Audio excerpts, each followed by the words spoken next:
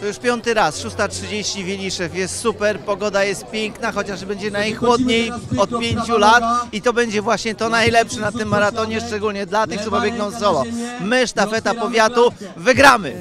3, 2, 1, start! Zaczynamy! Piąta edycja ultramaratonu Powstańca rozpoczęta. Na razie spokojnie, równym krokiem, bez wyprzedzania, żeby ta grupa imponująca, kilkuset osobowa tutaj ze sobą nie konkurowała. Teraz jesteście jedną materią, która rusza na pół kilometra, a później dopiero rywalizacja.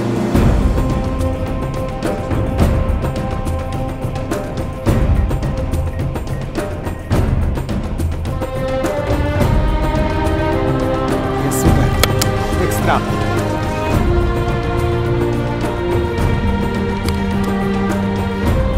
Żyję, ale bardzo się spodziewałem najgorszego, ale od 35 km zawsze mi na początku idzie dobrze.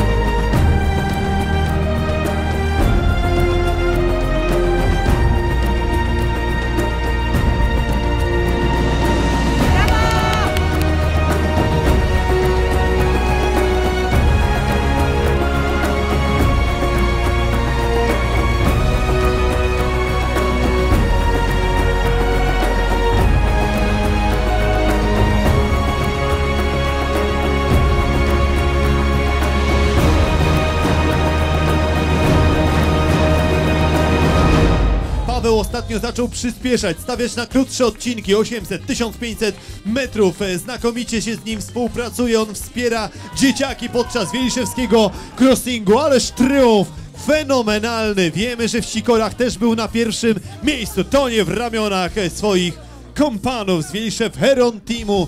Uzyskałem wynik grupa 4 godziny studentów 54 na minuty. ziemi. Poprawiłem się w stosunku do ubiegłego roku o 25 minut. Biegnę już czwarty raz ten dystans 63 km. Za każdym razem się poprawiałem. W tym roku odniosłem swój pierwszy duży sukces, zająłem pierwsze miejsce.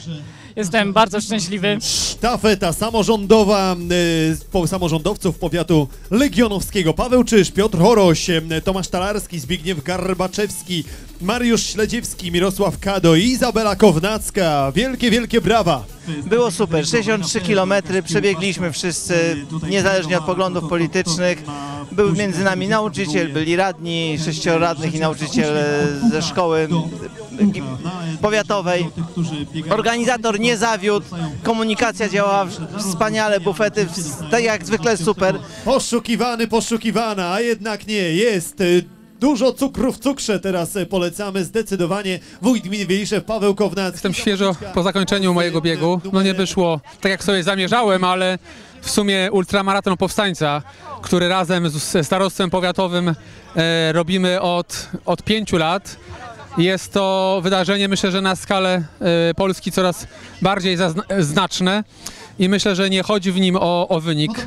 Prywatnie mogę się denerwować na siebie, ale myślę, że co widzę za sobą chyba jest najważniejsze, czyli wielka solidarność biegaczy, wielka e, ich liczba sprawia, że razem z panem starostą możemy być dumni, e, że tylu mieszkańców odpowiada na odzew wyjątkowej, wspaniałej im- imprezy.